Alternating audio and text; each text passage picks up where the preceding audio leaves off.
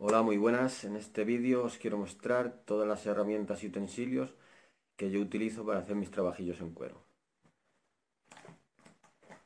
Para empezar, os enseño estas tijeras.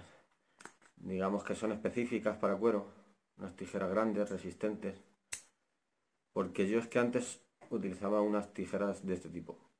Y esto para según qué tipo de cuero pues no va bien.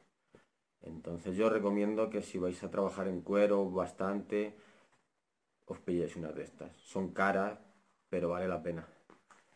Si vais a hacer alguna cosita nada más, pues con unas tijeras que tengáis por casa vale. Luego tengo un par de pinzas.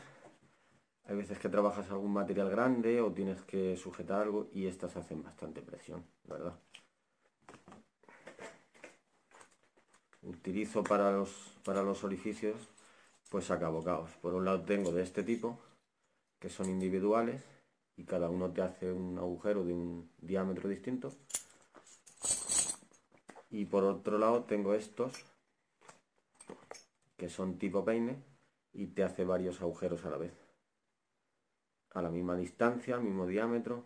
Esto va muy bien, súper útil. Luego tengo patrones, distintos tipos de patrones de las cosas que voy haciendo, por si hay que volver a hacerlo en otro momento. Y los voy guardando todos aquí con cartón reciclado de cosas que van usando en casa, pues yo voy haciendo mis, mis patrones. Utilizo reglas, obviamente, un par de reglas para medirlo todo. Luego por otro lado tengo, estos son remaches, Aquí tengo hebillas y pasadores. Estos son los cierres automáticos de botón. Aquí tengo estos cierres de presión para las cuerdas. Utilizo un trozo de tabla de palé para no romper la mesa, obviamente, cuando hay que hacer agujeros. Pones esto debajo un compás, el típico compás de colegio. Luego tengo los, obviamente, hilos de varios colores, de varios... El grosor no lo sé, y son distintos entre ellos, o sea que... Pero hilo encerado para cuero. Y luego tengo este estuche con un montón de cosas que paso a mostrar. Este le hice yo hace poco también. No ha quedado muy bonito, pero funcional por lo menos y aquí hay un poco de todo. Aquí tengo unas tijeritas más pequeñas. Aquí tengo un punzón, un punzón que me hice yo. Con esto trabajaba yo al principio, para hacer los agujeros. Un trozo de, un palo de una escoba, de lo que sea, un clavo afilado y un trozo de corcho. Estas son las agujas que utilizo, especial para cuero. Y aquí las tengo separadas por tamaños un cúter. Esto me lo fabriqué yo es un protector para el dedo para poder tirar del hilo y que el hilo no te, no te dañe la piel. Aquí tengo trozos de hilo que me van sobrando, a lo mejor cortas un trozo y te ha sobrado medio metro. Pues lo voy guardando y se pueden reaprovechar más adelante. Un mechero para terminar, para quemar las puntas de los hilos al final. Bolígrafo para ir dibujando. Un pequeño alicate, hay veces que cuesta sacar la aguja. Más hilo. poco de pegamento de contacto. Recambio para las cuchillas del cúter esto que se lo vi a Anchor del canal ese Activo Canari, que es un protector para el dedo. Él en su vídeo ponía la idea como para tallar, para cuando tallas y no cortarte, pero para tirar de la aguja, pues también viene bien y no te hace daño en el dedo.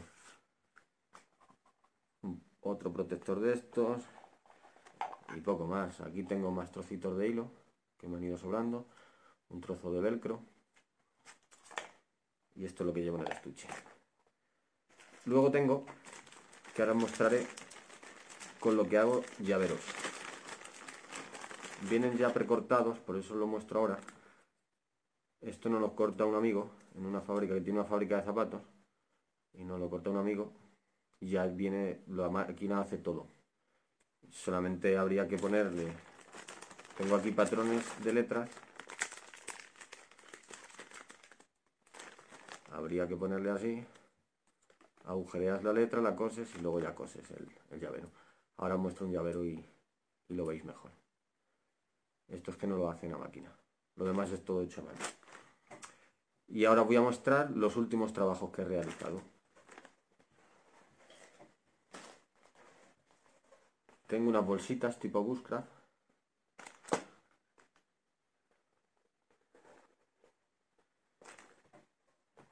El Bushcraft por autonomasia. Color azul, con la cuerdecita azul. Y otra bolsita, que esta está un poco más elaborada. Tiene con hebilla,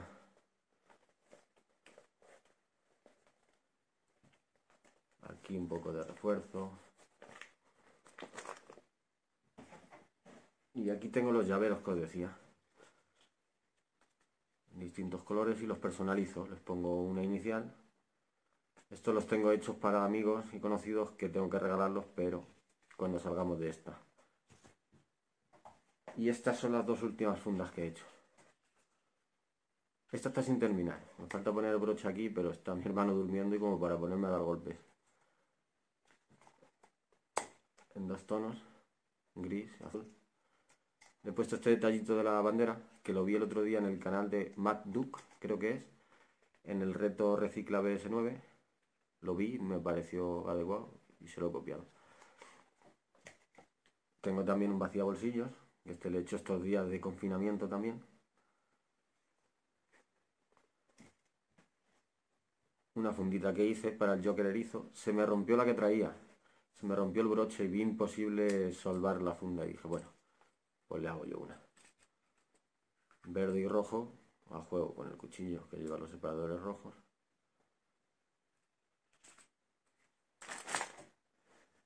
Una funda para el cuchillo nieto grillo, un cuchillo pequeñito. Y yo le hice esta funda para portarlo como neck cuchillo queda perfectamente sujeto. bueno, otra forma de llevar el cuchillo. Y eso es todo. Cambio la cámara y os lo enseño un poco más en detalle. Y esto sería en conjunto lo, lo que yo utilizo. El hilo, patrones, reglas, automáticos, los broches, los cierres estos de presión, las hebillas, los acabocaos, esto es muy útil, muy práctico y queda muy bien la costura. Las tijeras y este es el estuche, que aquí hay un poco de todo. Si necesitáis ver algo más en detalle o que os de especificaciones, pues me lo dejáis en los comentarios y encantado os lo cuento. Y aquí os muestro en detalle pues los que os había enseñado los últimos trabajitos. La funda del erizo, los llaveros, la funda del grillo, el vacía bolsillos, las funditas estas.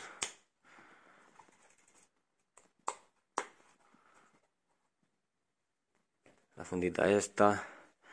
Deciros que no tengo grabado en vídeo el proceso de paso a paso de, ninguno de estos, pero lo haré. Haré algún vídeo subiendo como hago, por ejemplo, un llavero, una fundita de estas, para que podáis ver el, el paso a paso y el trabajo, las horas que lleva cualquier cosita de esta. Pues hasta aquí mi primer vídeo. He querido empezar el canal con el tema del cuero, porque por los mensajes que me han llegado de compañeros a través de Instagram, los que me han animado a abrir canal de YouTube, lo que más les gusta ha sido mis trabajitos en cuero y he querido empezar así el canal. Deciros desde aquí que yo no soy un profesional del cuero, ni muchísimo menos. Mis cosas tienen mil fallos, son la, la mayoría me las quedo yo y si no se las regalo a amigos o conocidos. Y nada, yo con esto paso el rato. Espero que os, gusten, que os entretengan y nada más. Gracias por seguirme, por ver el vídeo hasta el final y hasta la próxima.